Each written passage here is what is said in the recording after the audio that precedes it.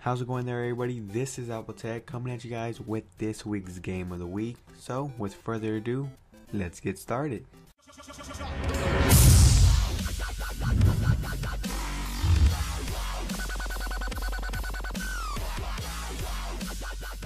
Now this week's game of the week I got for you guys is called Lep's World. It's available on the Android market as well as the App Store for free. I'll be giving you a quick gameplay and letting you know if this is an app to download or just to ignore. However, let's hop into some gameplay and when you first get to playing this game, it does resemble Mario in I gotta say a lot of features.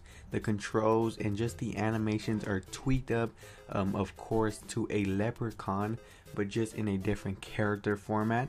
But besides from that this is an easy game to pick up and play. It is also an adventure game so it will keep you occupied for some time. And also plus to this game is it also works on the iPad as well as the iPhone. As I said before it's also available on the Android market. Now although like Mario how you shoot fireballs this one you shoot acorns at the snails or any creature that you come across. And instead of getting stars, they substituted for the pot of gold. Of course, the character that you're using is Leprechaun. Now, of course, you also get 5 to 6 levels in each world, so it will keep you occupied for some time. Now, when it comes down to it, Leper's World is a game to download if you guys want to play Mario Brothers on either platform. So folks, that much does it for this week's game of the week. Tell me what you guys think in the comment section below. You guys can also feel free to check out the site and my second channel where I'll be doing vlogs on behind the scenes of these videos. So feel free to check it out by clicking on the screen or visiting the first link in the description below. And like always guys, if you guys enjoyed this week's game of the week, you can always rate it a thumbs up, subscribe up there,